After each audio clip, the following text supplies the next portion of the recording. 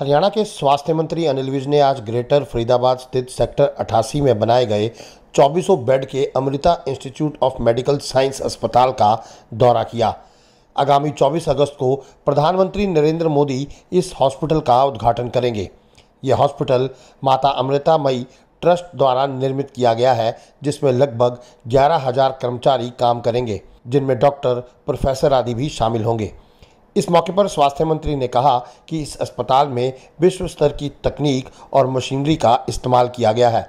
यह हॉस्पिटल सिर्फ़ हरियाणा ही नहीं बल्कि पूरे देश और विदेश के मरीजों का इलाज करेगा। क्या कुछ कहा अनिल विज ने? आइए सुन लीजिए। चौबीसों बेड का अमृता हॉस्पिटल जी। यहाँ बना है।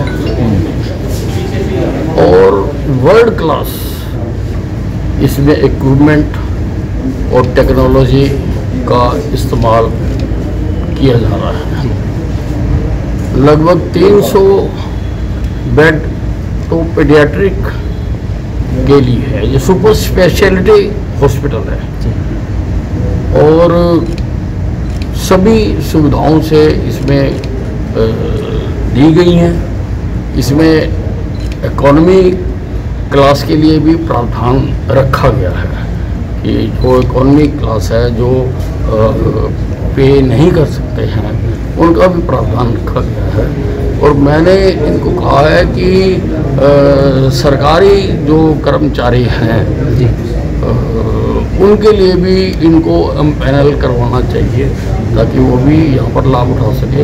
और आयुष्मान भारत के लिए भी एम पैनल करवाना चाहिए ताकि आयुष्मान भारत कार्ड वाले भी यहाँ का फ़ायदा उठा सकें। इस अस्पताल के बनने से मेडिकल के क्षेत्र में बहुत ज़्यादा सुधार होने जा रहा है। बारीकी से बातचीत की है पूछताछ की है बहुत गहरे तौर पर सब्ज़ी का कर, अपने दौरा किया। क्या कुछ निकल कर आया? कितना फ़ायदेमंद साबित हो जाएगा?